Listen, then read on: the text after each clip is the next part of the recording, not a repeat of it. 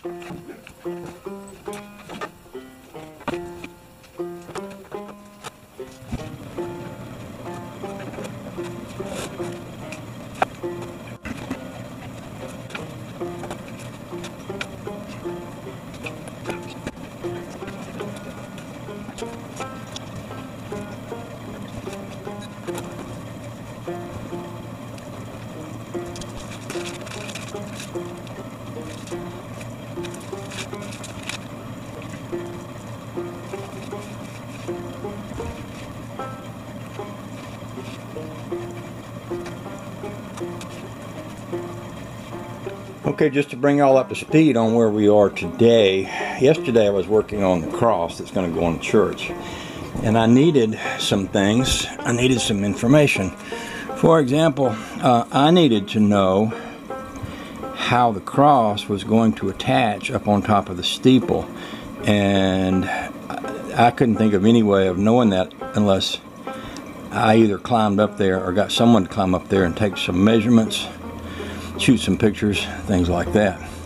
So I called the preacher of the church to ask him if he knew that information or if he knew someone that could get it. And while I was waiting for the preacher to call me back, this guy called me who's the brother of a guy I used to go to church with, who basically was kicking around the idea of how to make a banjo bass guitar. And what he was looking for was, uh, he wants like a camp bass, something he can take camping with him that will not be electric, but will make enough noise so that he can sit around the campfire and play his bass guitar while he's out camping.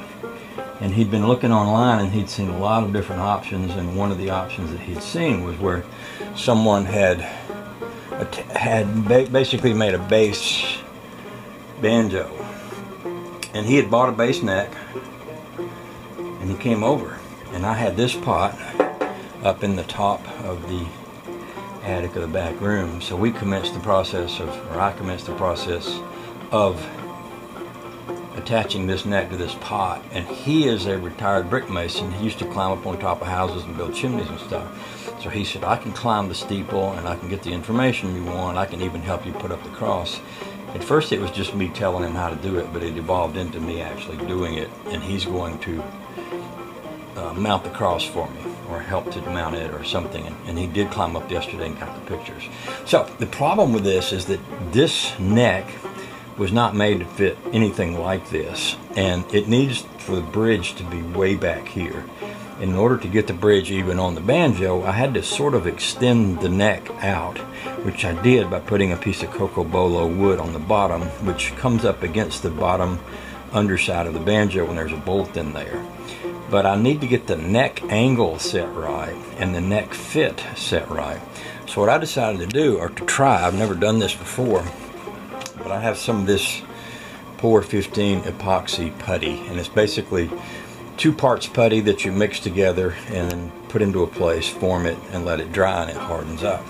So what I've done is I've got the neck angle correct by putting two strings in the middle two slots and running them down the neck here. I can see uh, that they run these little dots in the center of the neck runs right evenly between the two strings all the way from top to bottom. That gets my direction this way correctly. And by tilting the neck so that the string runs along the frets at this angle, I've just about got my neck correct. Now you'll notice this is actually touching the pot, this string. However, he wants a little taller bridge. So this by having it here, I'll be able to raise that bridge slightly, which will give him the, the height that he's looking for and still have the neck angle be just about correct. So, the next thing for me to do is to walk away from this project and let that harden. And then when I'm going to come back, by the way, I put this um, cellophane stuff in here so that this putty doesn't stick to the pot and I've got wood to wood on uh, putty to wood on this side so my hope is that it will stick to the wood but not stick to the pot. Hopefully I can loosen this, take the putty out, stick it back on there and it will form and stay on there. Uh, because this is a pine neck, it's not very strong.